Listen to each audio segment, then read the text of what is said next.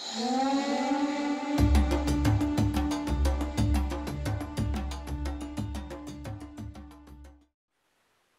fast can a cobra kill a rodent? It's coming up.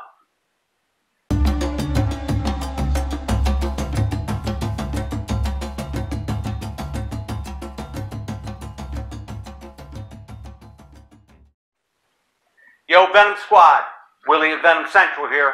Hey, we got a good one for you today. But before we get started, if you're new to the channel, hit my logo and subscribe. Hit the bell notification so you don't miss a chance to see any of my videos. We got some really cool stuff.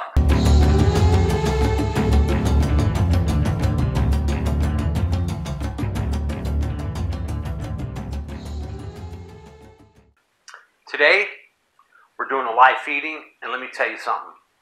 This is one for the books. This little monocle cobra, he performs a hunt that is epic. It truly is a, it's a great video. And I was blown away watching this little guy in action. You guys need to see this. This is, this is probably one of the most epic cobra hunts I've ever seen. It is, it's really worth watching. I'm impressed by it. okay, we're going to just see how quickly this monocle cobra can dispatch a mouse and oh he's chasing it down. Wow. Okay he just got a good bite on it. Now let's see here. He got a couple of good bites on it.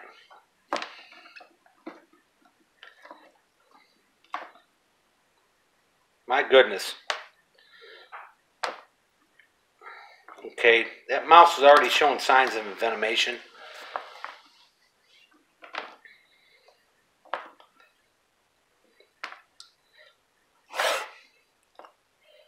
I mean, I'm really curious to see just how quickly he can dispatch that thing.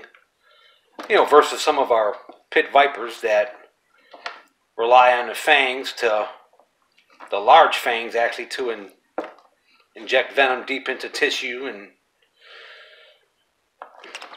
you know, cobras have a shorter fang, and it may just take a little bit longer for the venom to take effect, but he is on that thing like crazy. And he's bit it repeatedly.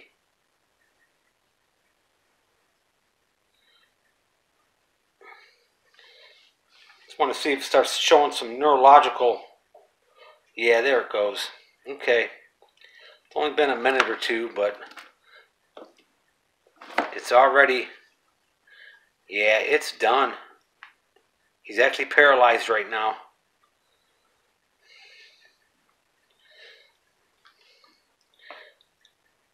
Well, I think that pretty much done everything that I would expect with a neurotoxic venom. It's paralyzed that mouse where he can't run around no more. But then again, that little monocle hit him a bunch of times, boy. He bit him probably five times. I have to rewind it and count. But he killed it pretty quickly. That was pretty fast. I'd say, I don't know, I have to put a timer on it and see how long it took for that mouse. But uh, it's definitely incapacitated. It's, it's dead now. It has perished. Pretty quick. Not quite as quick as some of the pit vipers that actually have a larger fang than a than an elapid. You know, like our some of our baby neotropical rattlesnakes that actually bite them fuzzies and drill them really quick and they kill them almost immediately. And a lot of that's got to do with fang placement and but even though it is a very toxic venom, but the venom from this monocle cobra is a lot more toxic and just from the delivery system alone, I think it took like maybe a minute and a half. I don't know. You guys time it and tell me what you come up with. But that was a quick kill and an aggressive kill. Oh my goodness. Well, we're going to let this cobra enjoy its meal. I'm going to step away and be quiet. That was a pretty exciting hunt. Wow, they're really ferocious, ain't they? I don't feed monocles live hardly ever, ever. I just don't do it. I give them frozen thawed because they'll eat anything. But this is just to satisfy my own curiosity on a uh, on venom effects and how long it would take for them to dispatch a mouse. I haven't seen it in years. I always feed frozen thawed, but this will be a one-time thing only, Venom Squad. For cobra feedings, anyways. I opt to feed them frozen thawed all the time. But that happened pretty quickly. The neurotoxin component in that venom took over very fast.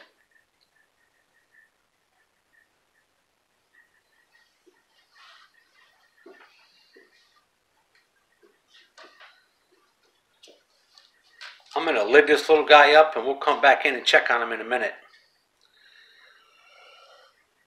And you can see he knows I'm here and he's going to get defensive. We want him to enjoy that mouse, so he worked for it. He earned it. What a little ripper, huh? That is a just a pisser of a little cobra right there. Naja kaouthia. Very dangerous animal. Very venomous animal. That just proves it. Killed that mouse pretty quick. Nothing to play with. But we're going to lit him up and let him eat. That was something, wasn't it? That little guy is something else. He is a natural born killer, I'll tell you that. But it was a pretty quick kill, too. But he's on frozen thaw from here on out. he is something else. But anyways, the t-shirts, guys. I've had a lot of guys asking me about t-shirts, and we are actually in the process of a merch page. So, but we wanted to get our hands on them. I'm one of these guys where I want to put my hands on what we're going to put our name on, okay? And I want to make sure that you're getting a good quality product for what you'll pay for a t-shirt. And so we've got a few of them, but actually I was going to do some giveaways. I wanted to give some of my loyal subscribers some t-shirts. And with a giveaway comes a whole bunch of rules and a whole bunch of laws, and it's it's ridiculous. It really is. And we only ordered a dozen of these just to try them out, and I was going to give them away on the channel, but apparently, and it's not YouTube. YouTube follows state, county, country laws, and the laws are different in every country, and to be fair to everybody, but it's it's taxation and different things. It's just opening Pandora's box to give away a damn t-shirt. So, anyways, they'll be available. Our merch page should be up hopefully by the next video. We're working on it. And another thing, we're actually waiting for approval from our, our Patreon account. And I've had several of you guys offer to help fund our channel, and, and I appreciate it. And and let me tell you, um, we can use help. Everybody can use help. I mean, and if anybody helps fund our channel, just to let you know, I don't use that stuff. I won't use that stuff for personal things. It will go for feed for the animals. And and a big thing with me is anti-venom. It will definitely go to upgrade my anti-venom stash. I keep anti-venom for a lot of my animals, you know, especially, you know, having, you know, we got almost 30 Bushmasters. So we keep a large supply of polyvalent for my Central and South American animals. And, you know, we would like to buy new animals and unbox them and show, look what we got, you know, but we don't get new animals until we've got anti-venom for that animal. It's, I mean, everybody claims that they have it, but, you know, we actually do have it. And that's why I've showed my anti-venom in several of my videos to prove it, that we keep anti-venom. I mean, I, I believe that this is probably to piss a lot of people off, but I really don't care that you know if you're claiming to be a professional, if if if you've got a large collection of animals, venomous animals, I mean for your own safety and for everybody else's safety to have what you need in case of an accident, not just for yourself, maybe somebody else in your facility. So you know we don't acquire a bunch of new animals without having the right antivenom. So I wish everybody else would follow my protocols, but it's never going to happen. You know, guys are going to say, oh, we've got anti-venom for everything. Ask them to prove it. Ask them to show it in their videos or, or, or show their South American box, their African box, their, you know, just show it. put up or shut up. I just would like to see everybody do things the right way. You know, Kristen from um, from Kentucky Reptile Zoo put out a really good um, link to show you how to get it. You know, and which I've had it for years, and I've done it on my own several times. And but you know, it's it's not impossible to get. It's really not. It's a lot of red tape. It's a lot of work. You know, it's easy to get the animals. I mean, you can get online and order a damn cobra, but literally, you can't get online and order any venom. You got to put some work into it to get it. You know, it's a lot of red tape. But anyways, enough of my rambling.